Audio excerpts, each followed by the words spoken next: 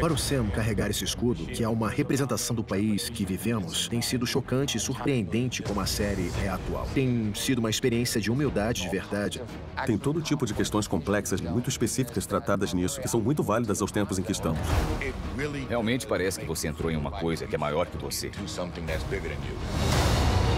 A meta era ser bem pé no chão, trazer tudo isso para um lugar de personagem mais assimilável, mais pé no chão.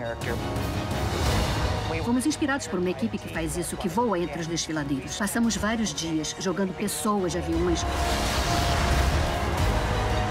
Vai te dar uma história específica para te levar até Porto Rico e depois para Praga e descobrir como fazer funcionar sem emendas com as coisas que gravamos em Atlanta. Estar aqui com todos esses brinquedos e com os atores que dão vida a tudo isso é simplesmente irresistível. Não podemos nos divertir tanto assim. Marvel Studios Avante, os bastidores de Falcão e o Soldado Invernal. E assista todos os episódios de Falcão e o Soldado Invernal agora, só no Disney Plus.